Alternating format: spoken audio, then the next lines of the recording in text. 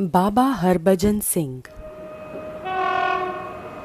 मेरा नाम अभिषेक है। मेरा बचपन से ही आर्मी में जाने का सपना था और अभी पूरा भी हो गया। मेरी आर्मी में नई नई जॉइनिंग थी।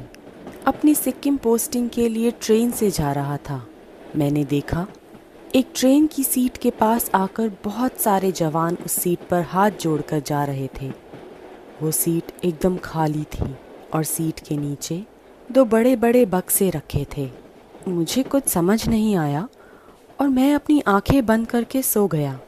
देर रात मेरी आँखें खुली तो अंधेरे में मैंने आर्मी की यूनिफॉर्म पहने बैठा एक लड़का देखा, जो उसी खाली सीट पर बैठा था और मुझे एक मुस्कान के साथ देख रहा था।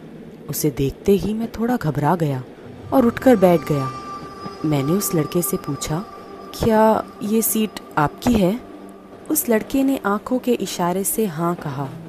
तब मैंने पूछा कि वो लड़का कौन है और लोग उसकी सीट पर आकर हाथ क्यों जोड़ रहे थे? इस बात पर उस लड़के ने कोई भी जवाब नहीं दिया। मैंने फिर पूछा, पर फिर वो लड़का एक मुस्कान लिए उसे देखता रहा।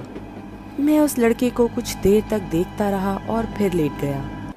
और कुछ ही सेकंड बाद जब वापस मैंने उस सीट पर नज़र घुमाई तो वहाँ कोई नहीं था। मुझे यह सब बहुत अजीब लग रहा था।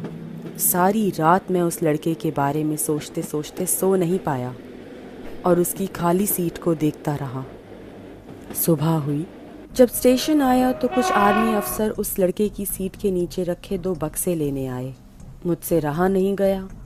मैंने बाकी अफसर से उस लड़के के बारे में पूछा, क्या आप मुझे बता सकते हैं यह किसकी सीट है और सब जवान यहाँ हाथ जोड़कर क्यों जा रहे थे?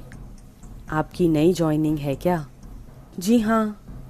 उन अफसर ने बताया कि वो सीट बाबा हरभजन सिंह की है, जिनकी 1968 में मौत हो चुकी थी। हरभजन सिंह ने 1966 में आर्मी ज्वाइन की थी और दो साल बाद ही उनकी पानी में डूबकर मौत हो गई। तीन दिन तक जब तक उनकी लाश नहीं मिली तब तक बाकी फौज वालों ने उन्हें भगौड़ा घोषित कर दिया।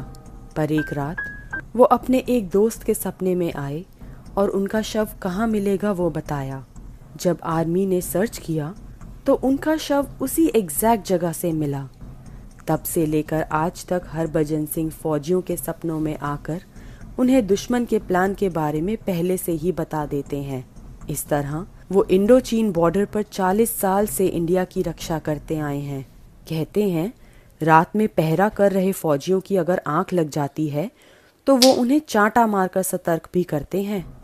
इतना ही नहीं, इंडियन आर्मी भी इस बात को मानती है कि उनकी आत्मा अभी भी बॉर्डर पर ड्यूटी कर रही है और उन्हें कैप्टन का दर्जा और बाबा की उपाधि भी दी गई है।